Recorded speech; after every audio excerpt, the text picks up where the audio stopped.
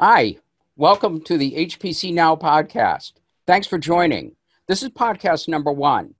The HPC Now podcast is for people that are just beginning or interested in HPC, high performance computing, and seasoned experts. We have all sorts of instructional videos uh, and interviews. We have news and views. We have a little bit of humor sprinkled in. And so, um, you know, why don't we get going on that? Today, we're going to talk about something that is frequently misunderstood in high performance computing clusters, and that is the scheduler. And so we're going to be doing a lot to debunk the scheduler, show, talk a lot about schedulers. And I have a, a very interesting guest, Dr. Albert Reuther from MIT Lincoln Lab, who's an absolute expert in this area. And he's going to tell us all about schedulers and debunk a lot of stuff. I think you'll find it pretty interesting. Uh, we have news and views with Garima Kochhar. Uh, she's going to show us some very interesting things on graphics and how to present graphics. And then we're going to have some other um, interesting things here. So why don't we get going? I tell you what, I'm going to um, I'm going to start by entering the uh, first first uh, interview job into the cluster, and let's get rolling. Okay. See you soon.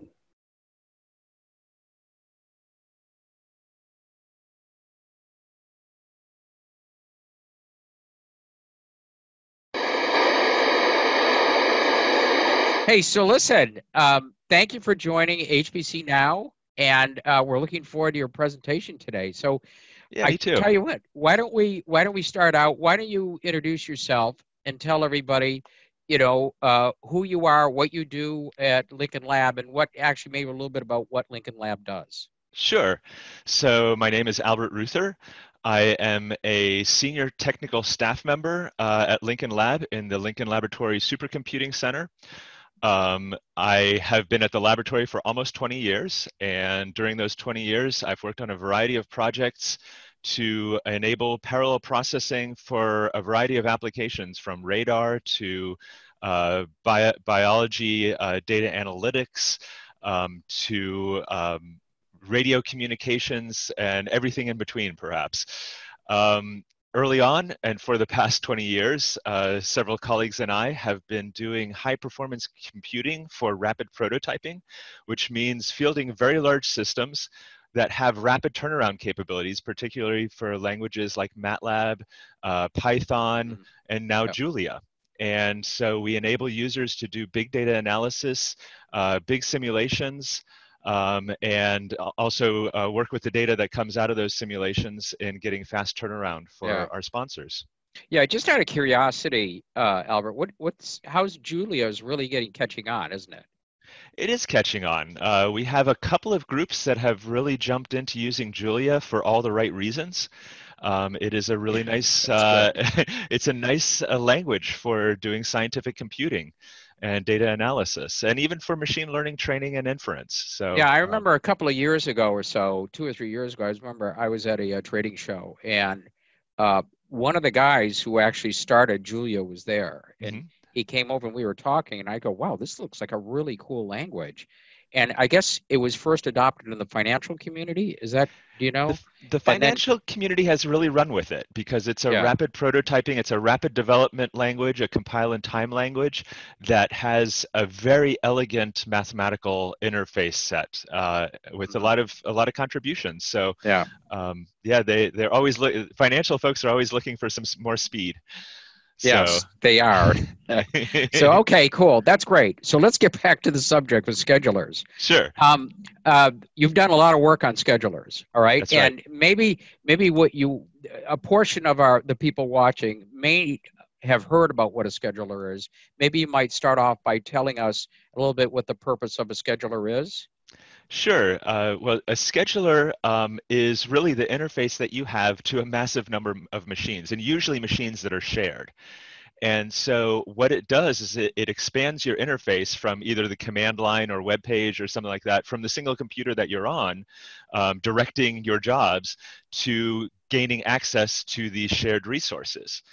And so it does that by monitoring the um, monitoring the resources that are available, um, keeping checks on the jobs that are currently running, as well as the machines that are running those jobs, and then providing an interface to the user. Perhaps I can illustrate this best with a, uh, a, a, slide here that shows sure. um, yep. that shows kind of the components. That'd be great. Cross your fingers. Here we go. Excellent. Can see it. All right. Well, so I've color coded these parts. There's four, my, four primary tasks that a scheduler does. Uh, there's job management, resource management, and scheduling, and job execution. And I've talked about a, a, a little bit about each, but let's jump into this a little bit more. Um, on the user side, the user side sees the job lifecycle management part, which is over on the left side of the diagram in the yellow. Mm-hmm. Yeah. And what that entails is a series of policies. Um, it's a job queue as well as uh, a results capability, a, a, way to get results back from all those uh, resources. Over on the right-hand side, in kind of the orangish tan, uh, is what the administrator mainly works with, and that's the resource management side. So the scheduler is uh, polling the resources, the, the nodes in the cluster, the GPUs in the cluster, seeing what their loads are, seeing what jobs are running on them, monitoring the jobs if they're running on them. If no jobs are running on them, it's still monitoring those nodes to see what's going on. Um, are they healthy? Is it uh, responding as expected to be uh, confident that if I dis- if the scheduler dispatches a job to that node, um, that it will run uh, well. Yeah. So um, I was just going to ask you. There's a lot yeah. of dials also with a there, with a scheduler, right? There are a lot of dials, absolutely. Well, let's go to the scheduling. That's actually where a lot of those dials are are in place. Um, I have uh, policies in each of these three categories, but the the place where a lot of the dials are is here in the scheduling, and that's where the jobs that are submitted by the user over on the left come into play with the resources that are available over on the right. Right. Um, the scheduler figures out what's the often what's the most optimal job uh, to run next, as well as what are the best resources to run to satisfy that, that job's resource needs, as well as to kind of optimize across the entire set of pending jobs as well as uh, running jobs at the moment the winning job, so to speak, that gets scheduled next, then gets job assigned, and then that goes into the job uh, execution phase, which is in that uh, minty green box down at the bottom, where the job is then dispatched to the nodes that are running the job.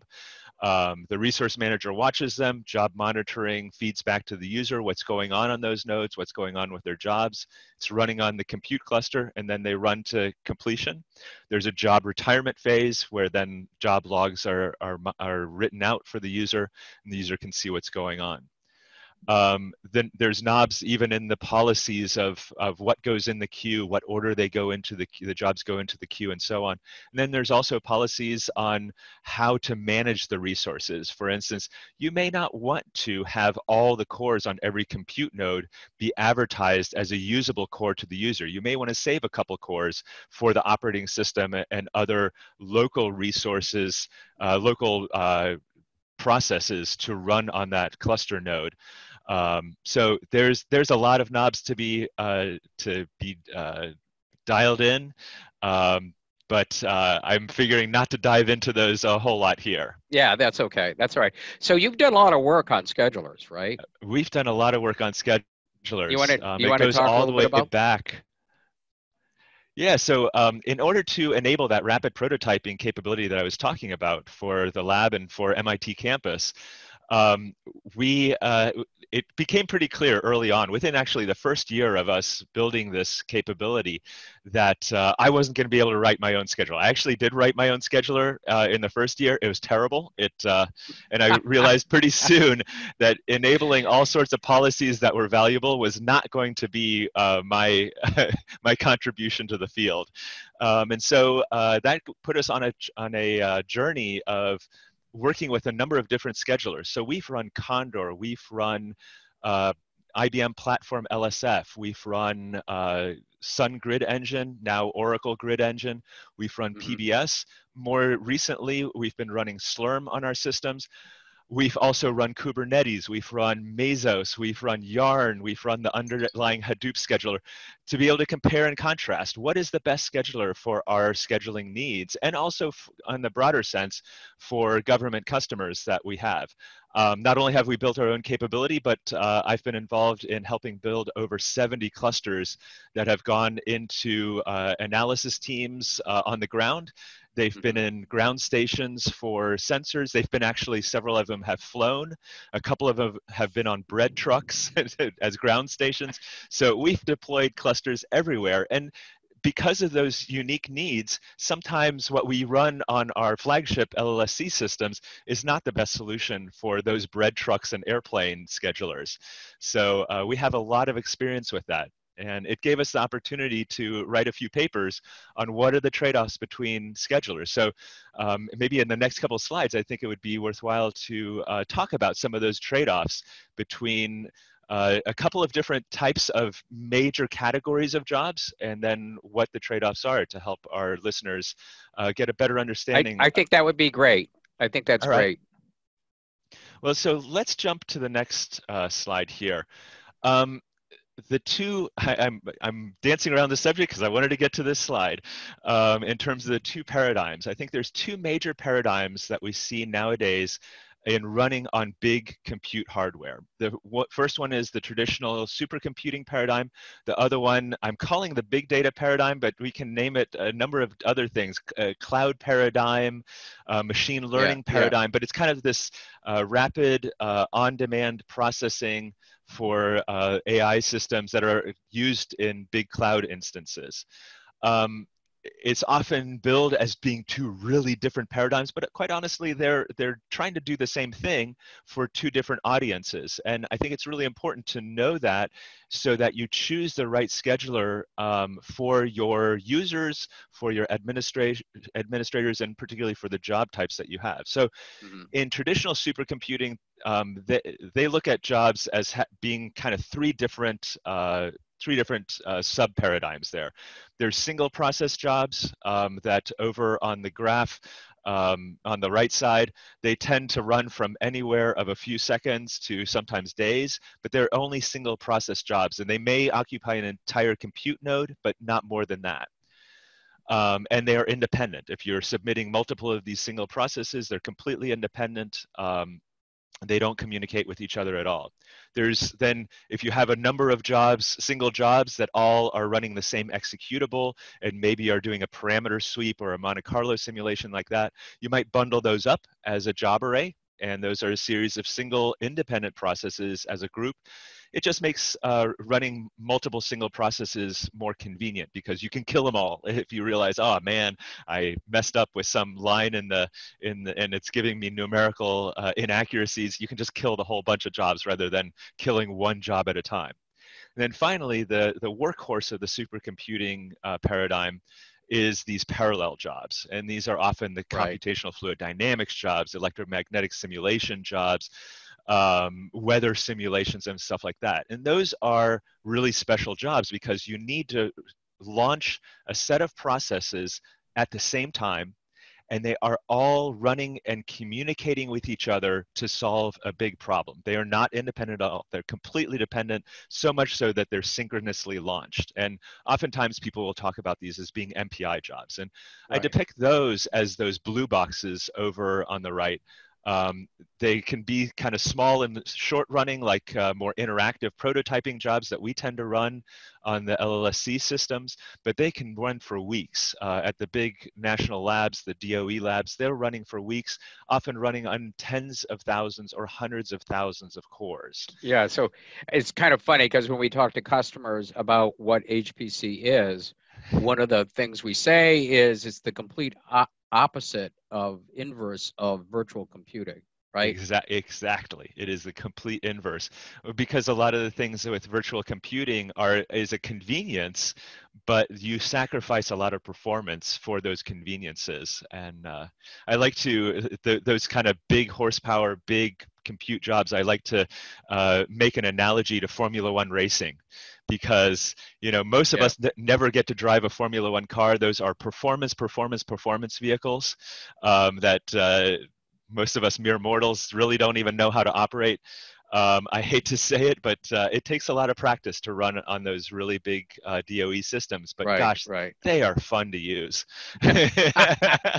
Just like I have to imagine a Formula One car is so much fun to drive. Yeah, right, right. Yeah, that's pretty cool. Um, and I mean, some of the training goes all the way back to grad school for the folks that run those on those systems. Um, it's Yeah, not yeah. it's not uh, it's not unobtainable for most of us, but it does take some practice and a lot of learning to get to run on those systems. So let's jump then to the big big data, big cloud paradigm. Um, Okay. They have three types of jobs too. They have these immediate high throughput jobs, often microsecond, millisecond, maybe a second or five second jobs that are just they're time critical. They're trying to push a lot, sometimes hundreds of thousands or millions of these little processes through. There's other jobs that can wait a while. Those are high throughput batch jobs. They're also completely independent, but maybe not so time critical. And then often they set up these services that are also completely independent. They're persistently executing, sometimes for days and weeks. Um, but again, they're independent jobs. And so that then leads me into the next slide, which um, kind of helps uh, do some trade-off analysis on which kind of schedulers you want to use for which types of jobs. So for supercomputing schedulers, I mean, there's there's a we didn't even touch on priorities and accounting mechanisms to to Mhm, uh, yeah. figure out who's running what job at what priority, um, what is the best job to run at a given time, given that there may be some really large uh, synchronously parallel jobs that need to run, and I need to clear off some nodes to run those.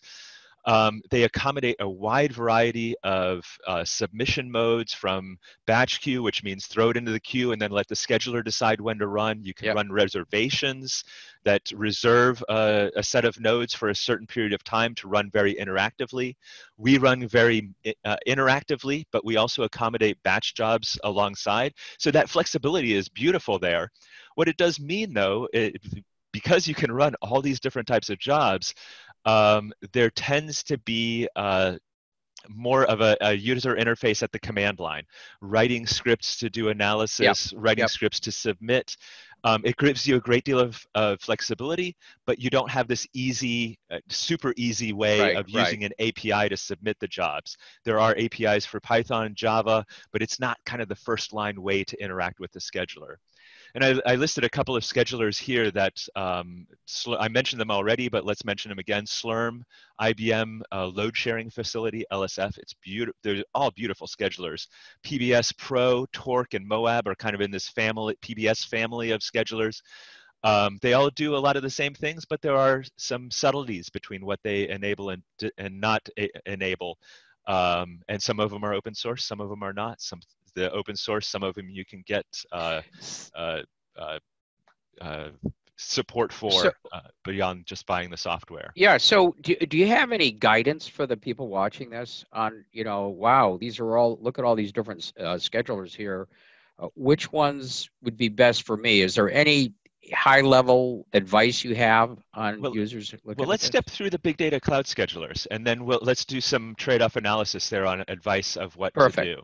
Perfect. Um, so for the big data schedulers, it generally is much more simple queuing system. There is some prioritization, um, but that me because it has it's designed with a simple scheduling system so that they have very low latency to moving jobs. And it's actually a, a very uh, active um, research area to bring that latency down even further.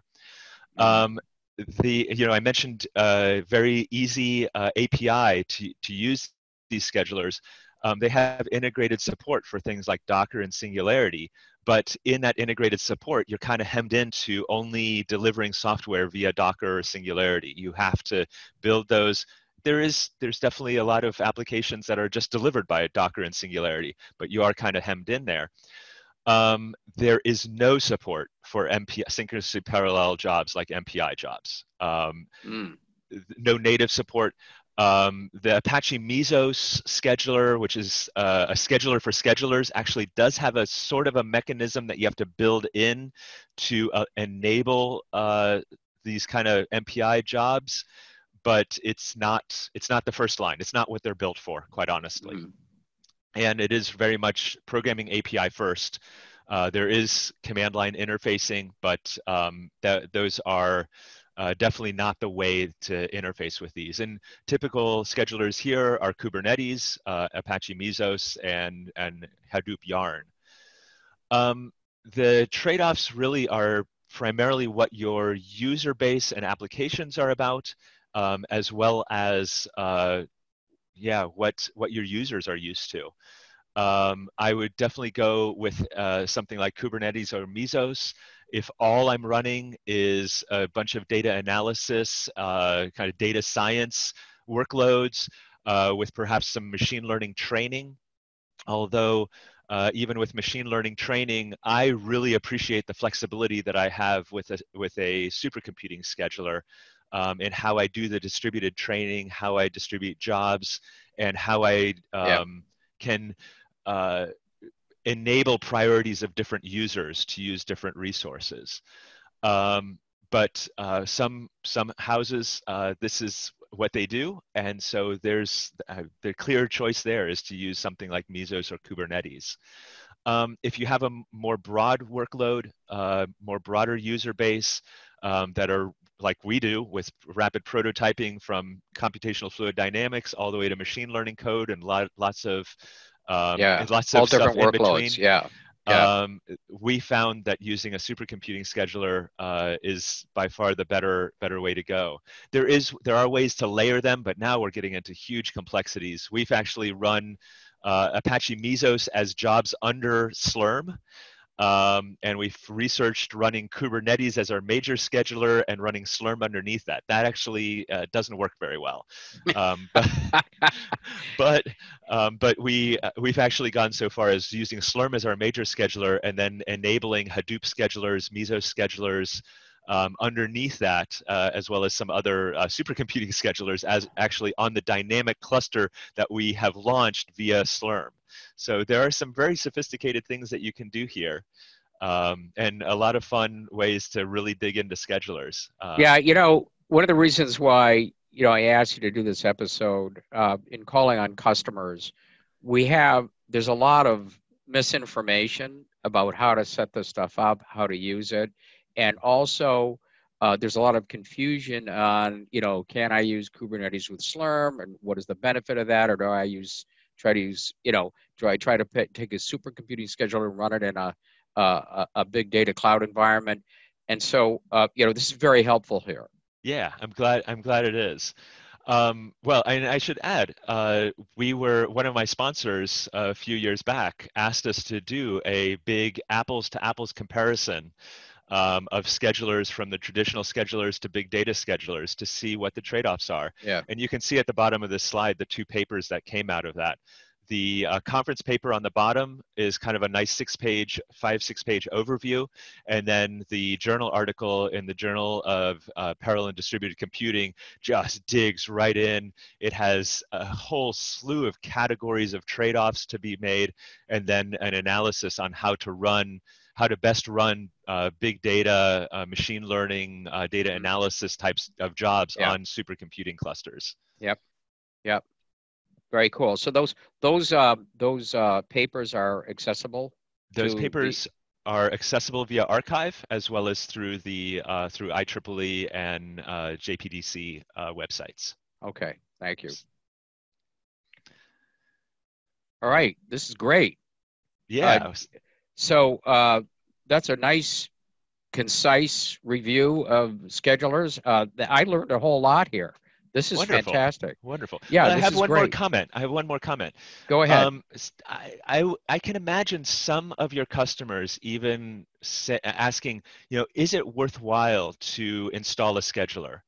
Versus just having a bunch of compute nodes available and having my users oh, kind of yeah. you know doing scheduling yeah, yeah, down right. the hallway yelling down the hallway you know i got compute nodes one through eight get off um, and i have to say uh, you know I, early on in our project first few months i was doing that sort of down the hall yelling scheduler um, that is not worthwhile. Yeah. It is not sustainable, and it is definitely not scalable. So, right, um, right. putting the work in to getting our users use to schedulers, uh, especially when we um, scale our clusters over, say, eight or 16 nodes, um, is very much worthwhile. It's a wonderful learning experience um, and it definitely helps with uh, mediating between users as well as even your own supercomputing team on how to best use the, the resource. Um, right. And it's a great right. way to start conversations, to keep conversations right. going about using the cluster rather than just frustrating people uh, with yelling down the hall or, you know, just fuming at your desk. Oh, why is that team using all those nodes? Yeah, right, right, right. so, yes.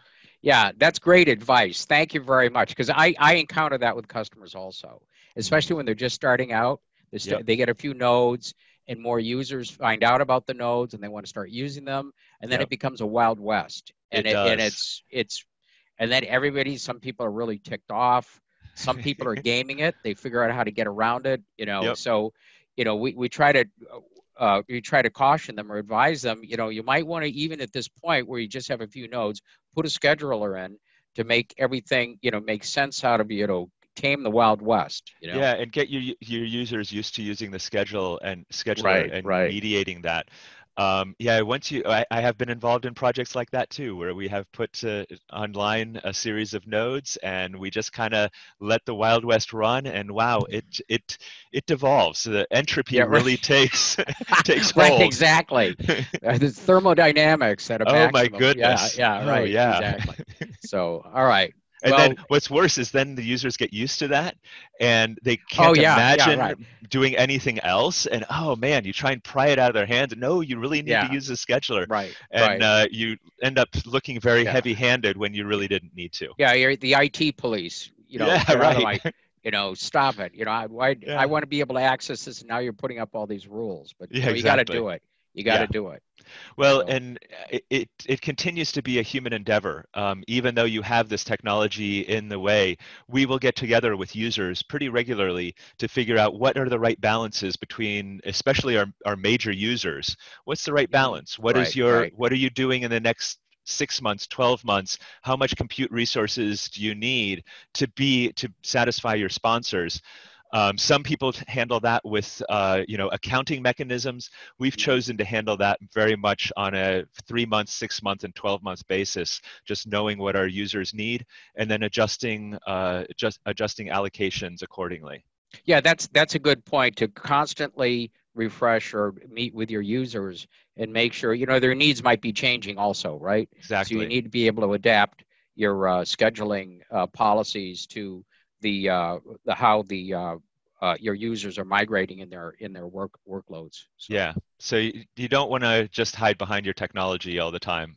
It's right, good to interact right, with the users right. to try and uh, make everybody uh, realize that we're all actually on the same team to getting work done. yes, that can get forgotten sometimes, but yes, yeah. that's good. Yeah, this this is great, Albert. This is fantastic presentation. Really appreciate appreciate you visiting us today. And, uh, you know, again, a, fan, great job and thank you very much for doing this. Oh, so so glad. Thank you, Tony, for for including me. Thank you for bringing me on HPC now. Sure. Uh, yeah. This was a lot of fun. All right. Well, listen. Stay safe. Have a good weekend. Thank you. All you right? too. Okay. All right. Bye bye. I will see you. Bye. Tony. Uh, I'm Garima Kochhar. I'm part of the HPC uh, engineering team, and I work out of the HPC and AI Innovation Lab uh, in Dell Technologies Austin campus. Oh, that's great, Garima. So, Garima is going to be a regular on HPC Now, and we're going to call these segments News and Views, and where we're going to bring relevant information on HPC to all of you and hopefully this you know you'll find this useful. So Garima, what, what's going on now? What do you have? Um, i've got a, i've got i think about three or four things i wanted to show you uh, since we last spoke you know they, okay. they kind of caught my fancy. So the first one is uh, uh, this really cool graph i saw. All right can you show it to us? Yeah so let me pull it up so the first thing I wanted to show you was this really cool uh, graph that I came across. Cool from a graph point of view, not cool from the data that the graph is representing. Oh, right, exactly. And uh, you know, like uh, our team, we do a lot of publications. We write up a lot of our results, and we're constantly yeah. drawing charts and graphs to illustrate a point. and so i thought that the, so that's one of the reasons that this graph totally caught my eye so uh, this is from reddit and i'll tell you where the graph comes from as well but this particular okay. picture was on reddit there's a subreddit called uh, data is beautiful right so this was posted there and what this shows us is uh, you know almost 2000 years of uh, diseases and pandemics and uh, illnesses that killed a whole bunch of people. So each ball, each fluffy ball is a sickness. And the big one you can see is the Black Death, for example. And the size of the ball, which is like the volume of the ball, the size of the ball represents the percentage of the world's population that was killed by that disease.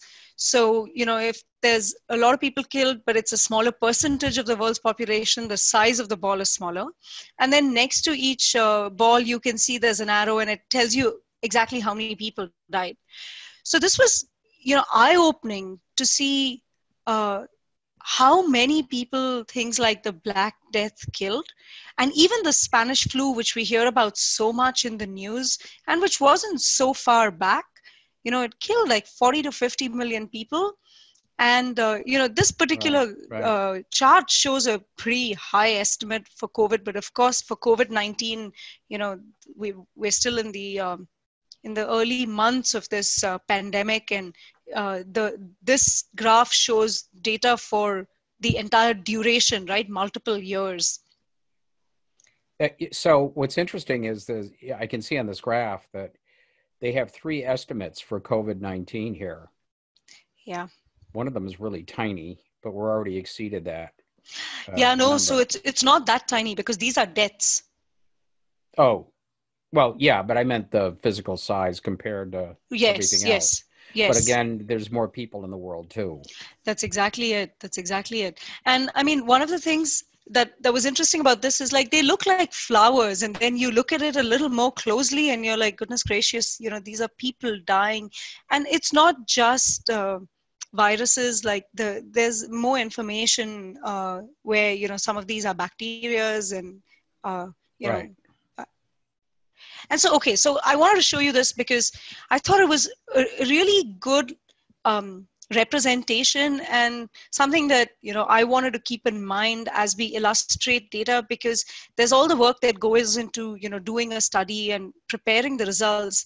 But if you can present the results in a easily digestible manner that makes the import of the result you know that much easier to understand um, and that's what i really liked about this visual oh that, this is just is a brilliant diagram you can grasp the impact right away and there's a tremendous amount of information in here.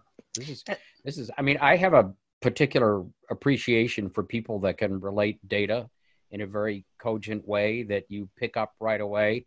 It's I, I don't know. I think I, I it's very hard to do this actually. I think you know i can always do graphs right i can yep. do graphs i can show bar graphs i can show all sorts of stuff but to think of it in three dimensional format that really relays the and also gets the information across you know about how serious this is right Yeah. you can you can get it right away this is beautiful Garima.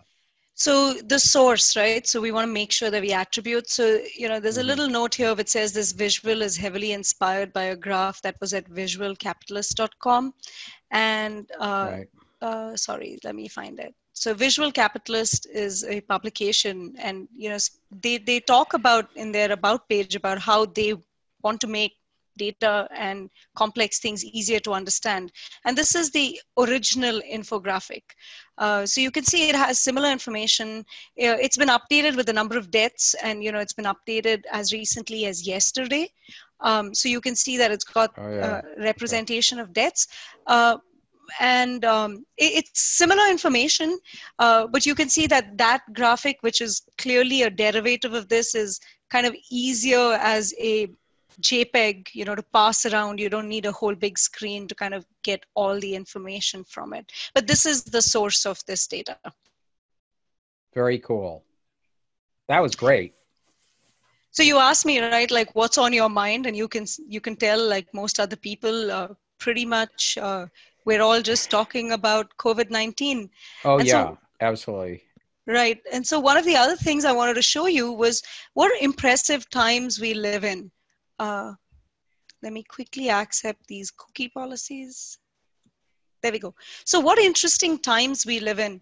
So this is an article on nature.com and just in the first three months of this year or you you can three uh, just in the first three months maybe even three and a half months of this year you can see how much research the world is doing you know collectively uh, into the topic of coronavirus and specifically covid-19 uh, sars-cov-2 and this uh, this chart shows uh, journal articles as well as preprints because a lot of uh, researchers have been uh, releasing preprints of their articles prior to publication and prior to peer review.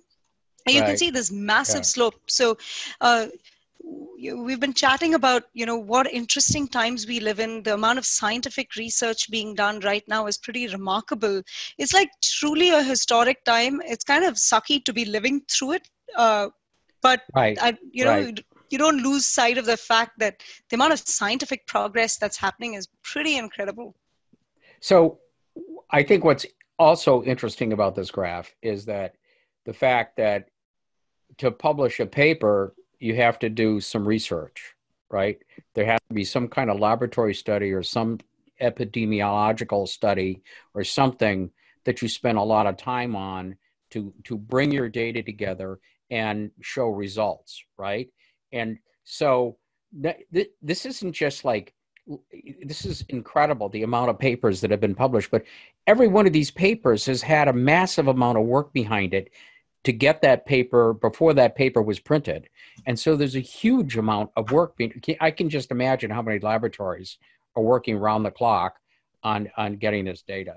Uh, you know i i heard another uh, interesting uh, on market watch i heard another interesting piece of data that the pressure that the uh, uh, pharmaceuticals are, are facing so much, um, a lot of them are collaborating without legal documentation or anything. They just said, forget it. Let's cut through all the paper tape, all the red tape.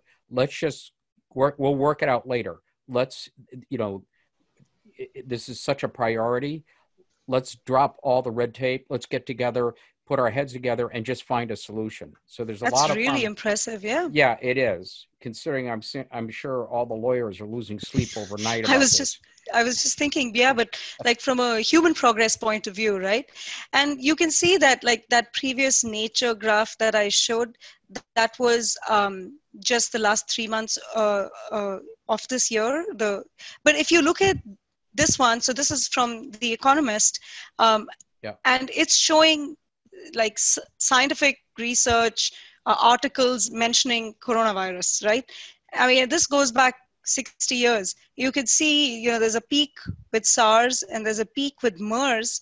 And then just in these first five months of 2020, there's this huge peak. And this is the, the COVID 19 peak. So this is very interesting. So it says the number of scientific articles mentioning coronavirus, right? This goes back to what? 1965? Yeah. People were writing papers on coronaviruses back then. It, yeah. I guess it wasn't in. That's true, but I mean, you know, there's there's all uh, even the common cold, as we're all experts now, right? Even the common cold is a coronavirus, uh, and you can see like it really took off. For example, with with these um, with SARS, which is not so long back. Right. You know what? I'd be very interested. Look at these peaks. Uh, were those outbreaks? You know what yes. I mean? Do you see it? Yep. 19, 1990, uh, 84, 82, 95, uh, 2001, I guess. Mm-hmm. And then bang, SARS. Yep. Yeah, SARS was pretty scary. That was pretty scary.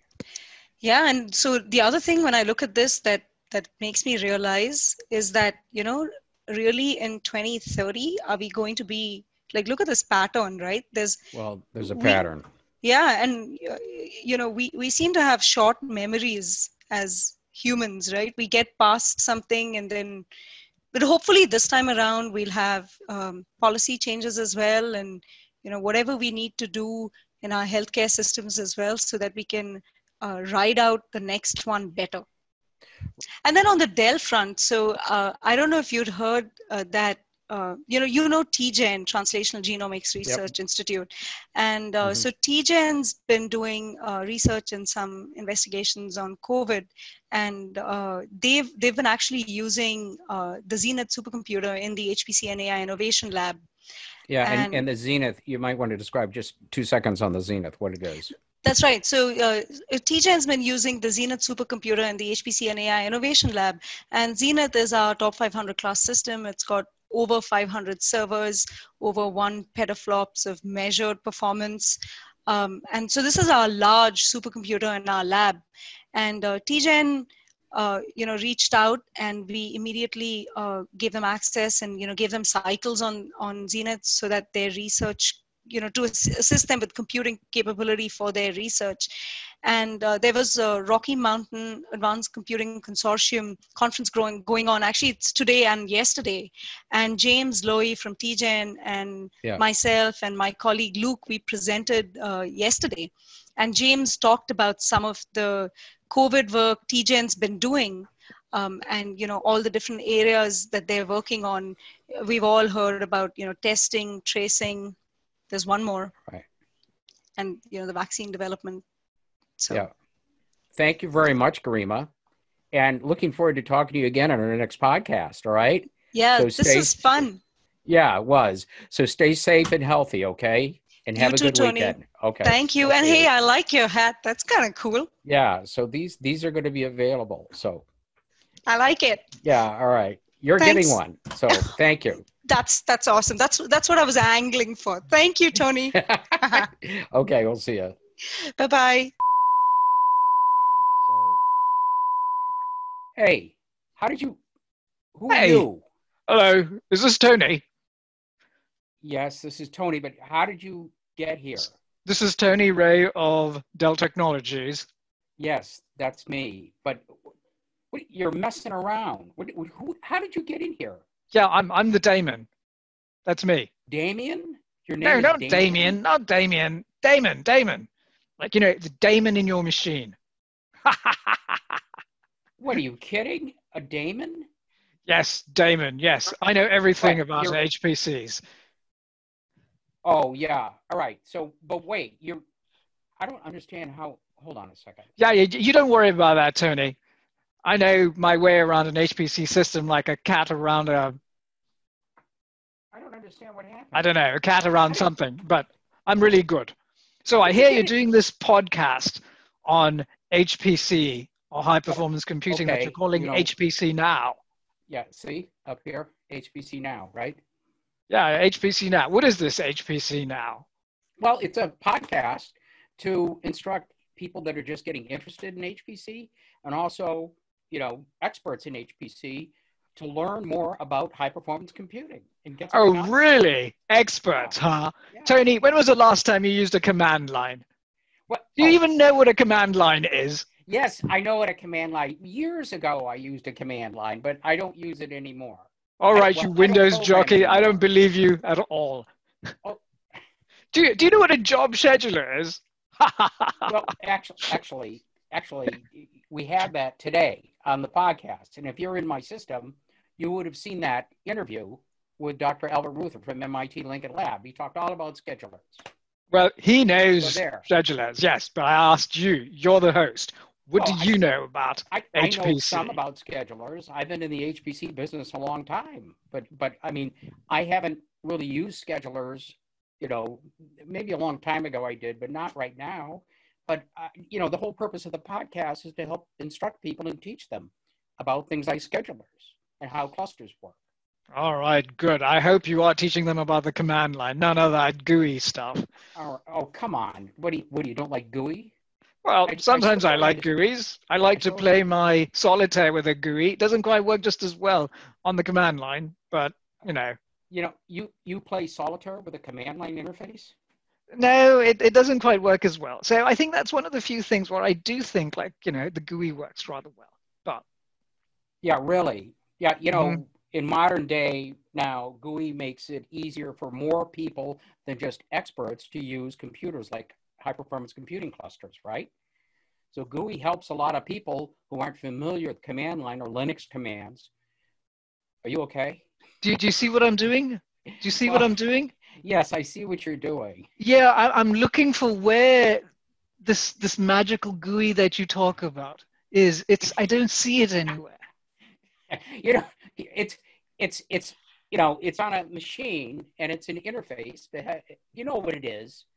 I don't. I still don't understand how you're in the system or how you yeah. got how you got how you got. Anyways, you know, yeah, don't you worry about me, Tony. I'm going to keep you straight on your HPC Now podcast. I'll make sure that you only give the facts and the facts as they stand. All right. Not not not if I can prevent that. Oh, we'll see about that.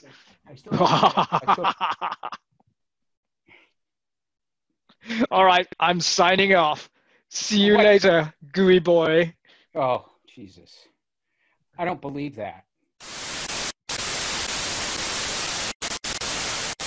So that wraps it up for this podcast number one. Hope you enjoyed it and got something out of it. Next podcast is going to be coming really soon, and it's going to feature HPC file systems. We're going to talk about all different kinds of file systems and technologies, and it's going to be a pretty interesting discussion. We're also going to have our news and views with Garima Kochhar, and she's going to have some pretty interesting things to talk about also. So I hope you enjoyed it. Uh, looking forward to seeing you again. And remember, you can put comments uh, and suggestions uh, on podcasts and things like that to comments at hpcnow.org. Thank you very much, and please stay safe.